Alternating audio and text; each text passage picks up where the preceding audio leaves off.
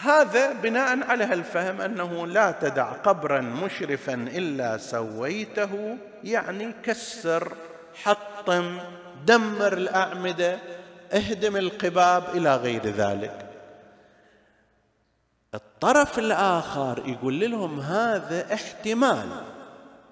هناك احتمال آخر هم يرونه هو الأصح وهو أن التسوية في الشيء هي عبارة عن إزالة النتوءات والارتفاعات والانخفاضات. تقول هاي أرض متعرجة سويها. يعني شنو؟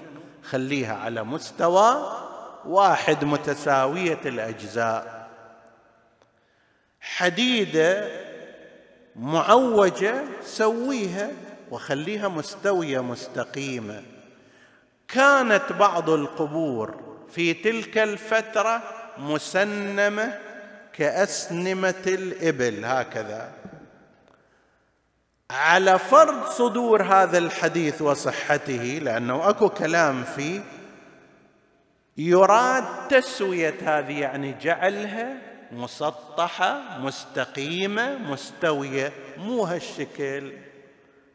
هذا هو الأقرب لأنه لو أراد أن يقول ذاك فلازم يقول ولا تدع قبرا مشرفا عليه بناء إلا ساويته بالأرض. التسوية بالأرض يعني هدم وتدمير. أما التسوية المجردة أنت لو تقول إلى أي واحد سوي هذا الشيء يعني اجعله مستويا. فهذا هو المعنى الأظهر. إذا ما هو الأظهر لا أقل هذا محتمل هذا محتمل وهذا محتمل. فإذا كان كلا المعنيين محتملين أنت تروح وتهدم هذا التراث الحضاري وتزيل هذه الأماكن التي يذكر فيها اسم الله ويعظم فيها أولياء الله على أثر حديث فيه إشكال سندي وفيه إشكال دلالي أنت تهدم كل هذا؟ هل هذا من التورع؟ لو من التقوى؟ أكو مدرسة عريضة وهي المدرسة الأكبر في المسلمين أكثر أتباع مدرسة الخلفاء لا يجيزون هدم هذه المقابر والأضرحة والمشاهد. حتى لو فرض أن فيها بعض الممارسات غير الصحيحة تعال ارشد الناس انه هذه الممارسة مو صحيحة لأنه تهدمها لو فرضنا في مسجد من المساجد إنسان يصلي خلاف القبلة. تجي تهدم المسجد؟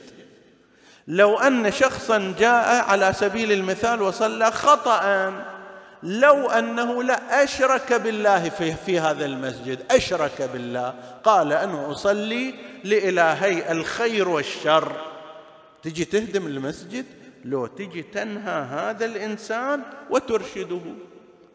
أنت تجي تهدم إلك هالمقابر هالمشاهد هالأضرحة اللي هي صارت مألف للناس.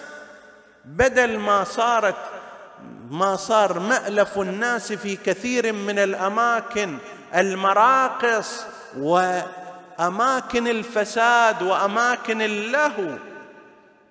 ذيك ما عليك منها تجي إلى ضريح لا يتلى فيه إلا آيات الله ولا يذكر فيه إلا اسمه ولا يصلى إلا له ولا يدعى إلا هو.